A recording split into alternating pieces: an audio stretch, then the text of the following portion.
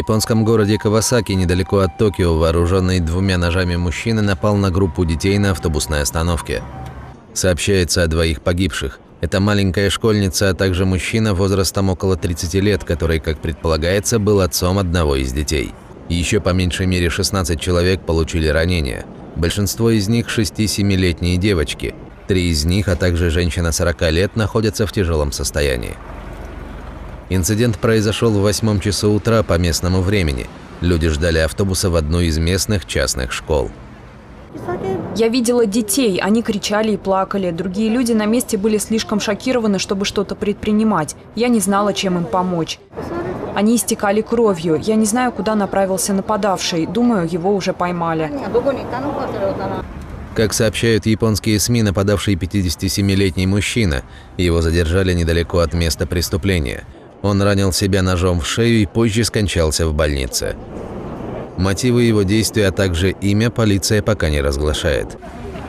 Подобные инциденты с применением насилия происходят в Японии крайне редко. Президент США Дональд Трамп, который на момент нападения находился в Японии с официальным визитом, принес свои соболезнования пострадавшим и семьям погибших.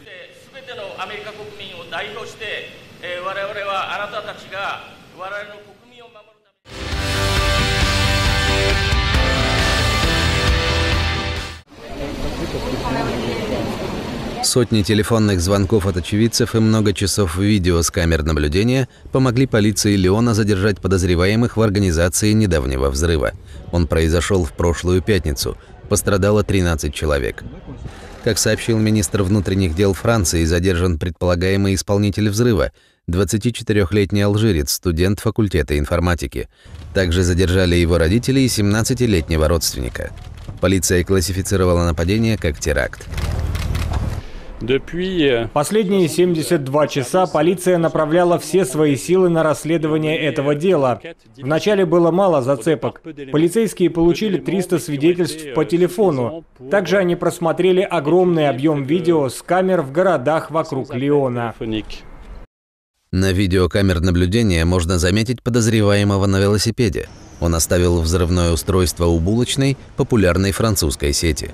Полиция говорит, что подозреваемый был уверен, что его не поймают, поэтому без опасений продолжал ездить по городу на своем велосипеде. Euh.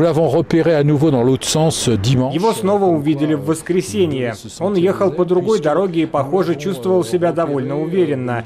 В воскресенье на улицах было мало людей. Он был на том же электрическом велосипеде. В квартире подозреваемого провели обыск. Соседи говорят, что шокированы подобным соседством. Euh, En fait, apparemment, les explosions de... Один из подозреваемых в организации пятничного взрыва живет недалеко от нас. Это хорошая семья, она нам нравилась. Мы тут живем недолго, поэтому в полном замешательстве.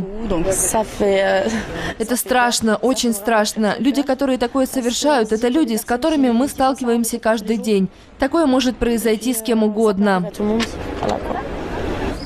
Полиция отмечает, что взрывное устройство было маломощным, однако оно было сделано качественно и напоминает бомбы, которые использовали во время терактов в Париже и Брюсселе.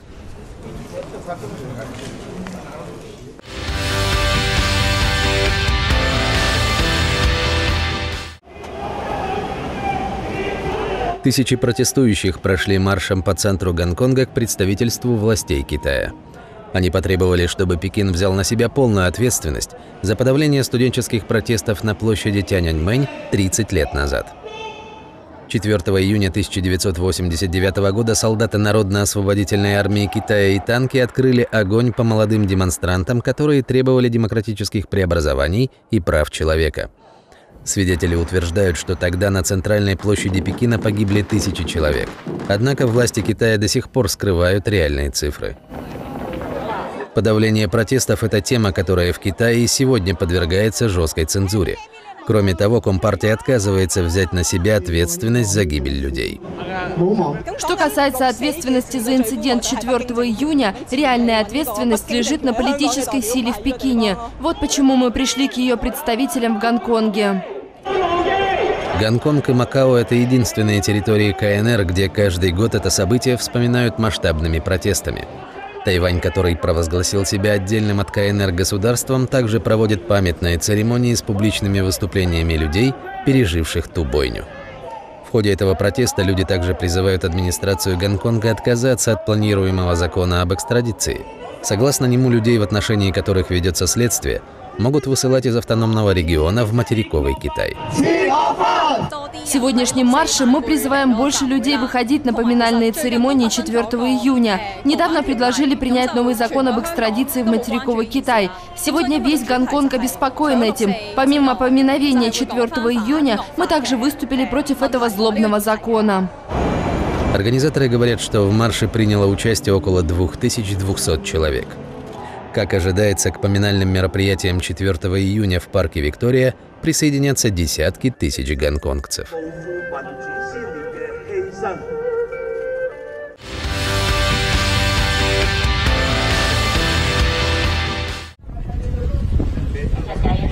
Этот небольшой видеоролик перевернул жизнь школьника из перуанского города Трухилья. На видео мальчик делает уроки при свете уличного фонаря, поскольку в его доме нет электричества.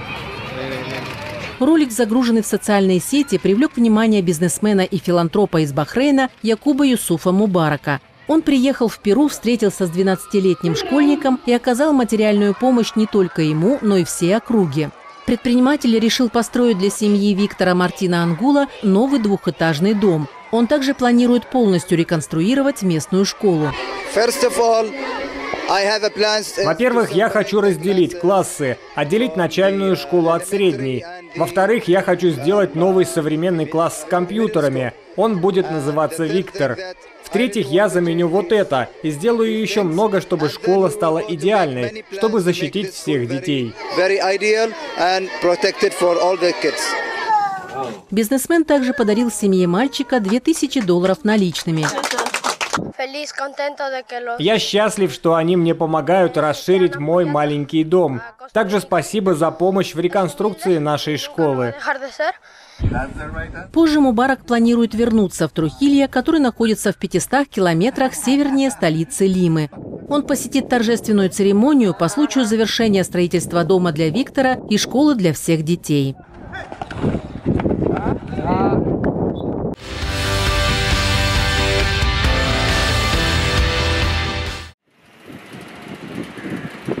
Портовые рабочие в суданской провинции Красное море присоединились к всеобщей двухдневной забастовке. Провести ее призвало оппозиционное движение «Силы за свободу и перемены». Оно требует, чтобы Переходный военный совет немедленно передал власть гражданскому правительству. Порт в городе Порт-Судан – единственные морские ворота страны. Порт очень важен для множества сфер экономики. Вся продукция, поступающая в Судан и вывозимая из него, проходит через этот порт. Военный переворот в Судане произошел 11 апреля. Армия отстранила от власти президента Амара Аль-Башира, правившего 30 лет. Антиправительственные протесты начались в декабре прошлого года. Они вспыхнули из-за высокой стоимости жизни, подорожания хлеба и других проблем. Порт Судан одним из первых начал протестовать. Он играет важную роль наряду с такими городами, как Эд-Дамазин и Ньяла. Можно сказать, что протесты начались с окраины Судана, а затем охватили и центр. Сначала все начиналось в центре, а потом распространилось на окраины Судана. 15 мая военные советы и оппозиция договорились сформировать исполнительную и законодательную ветви власти. На переходный период решили выделить три года. Это не устроило суданский народ, и протесты продолжились. Позже оппозиция заморозила переговоры. Она против того, что военные хотят возглавить переходное правительство, а также занять большинство руководящих должностей. По мнению оппозиционных сил, военные должны заниматься только вопросами армии и обороны. Между тем, представитель военного совета уже заявил, что гражданское правительство может быть сформировано в течение трех месяцев. При этом он подчеркнул, что армия передаст власть только в безопасные руки.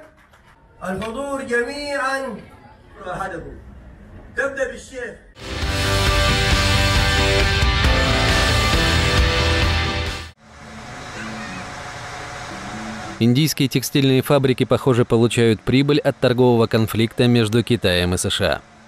Недавно Вашингтон ввел новую серию 25% пошлин на китайские товары общей стоимостью 200 миллиардов долларов. Пекин принял ответные меры. После этого объем экспорта одежды из Индии в очередной раз вырос. Южноиндийский город Тируппур называют текстильной долиной. Местные экспортеры говорят, что торговое противоречие предоставляет им возможность увеличить торговлю с обеими странами.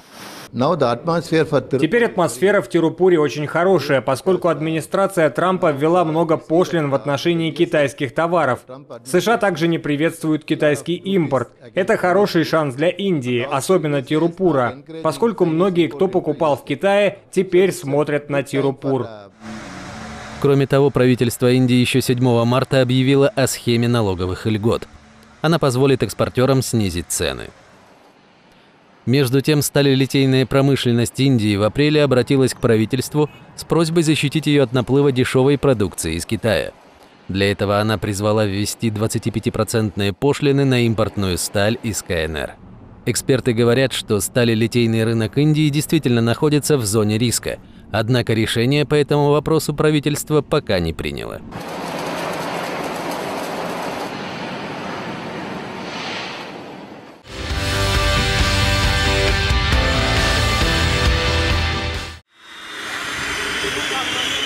Этот прототип, похожий на летающую тарелку инопланетян, создали румынские инженеры. Называется он «Всенаправленный летательный объект».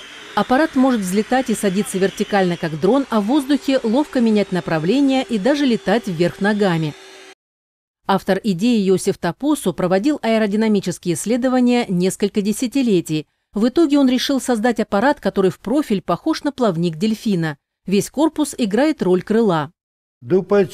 После того, как я разработал концепцию плавника дельфина, то написал еще серию статей. Я увидел, что исследования продвигаются вперед, но мне очень хотелось подкрепить выводы экспериментами. Тапусу создал первый прототип 12 лет назад, и он был деревянным.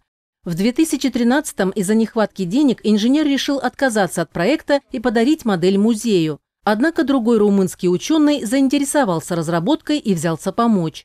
Он показал результаты исследований, рассказал всю историю, и тогда я понял, что проект основан на необычайной аэродинамической концепции, подкрепленной тремя десятилетиями исследований. Если такой аппарат заставит летать, то этот проект мог бы совершить переворот в авиации.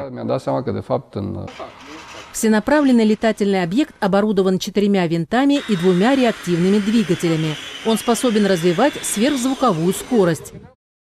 Разработчики говорят, что такой аппарат может быть беспилотным и пилотируемым. Они хотят построить и протестировать полноразмерные прототипы.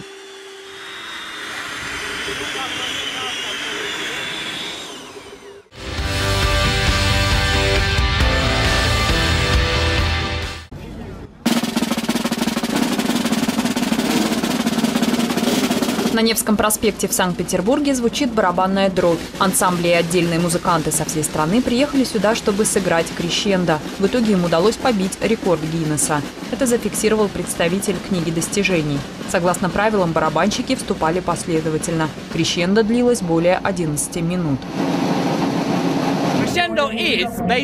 Крещендо – это когда начинает один барабанщик, а потом один за другим вступают остальные, до тех пор, пока не сыграет последний.